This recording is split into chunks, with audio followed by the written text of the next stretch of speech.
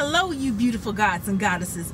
This is Tawanda Van, Celestial Earth Goddess, and today I want to talk to my fellow goddesses about embracing the goddess in you.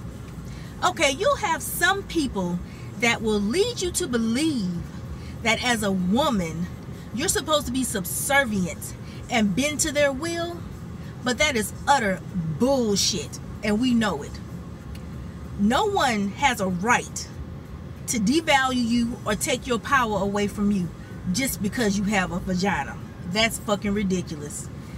And furthermore, having a vagina does not make us weak. That's what makes us strong. We are women after all. And our femininity is our ultimate strength. Just like if we were men, our masculinity would be our ultimate strength.